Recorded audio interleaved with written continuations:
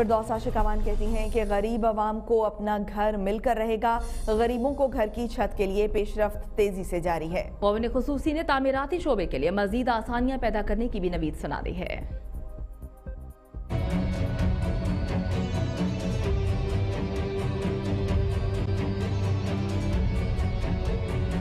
وزیر اعظم کی معاون خصوصی برائے اطلاعات و نشریات ڈاکٹر فردوس عاشق اوان نے اپنے ٹویٹ میں کہا کہ وزیر اعظم عمران خان نیا پاکستان ہاؤسنگ پروگرام کے تحت گھروں کی تعمیر کے منصوبے کی تکمیل کے لیے عزم ہیں۔ تعمیر شدہ گھروں کی فروخت کے مرحلے پر فکس ٹیکس کا نفاذ اور تعمیراتی مرحلے پر سیلز ٹیکس کا خاتمہ شعبہ تعمیرات کے فروغ اور ترقی میں سنگ میل ثابت ہوگا۔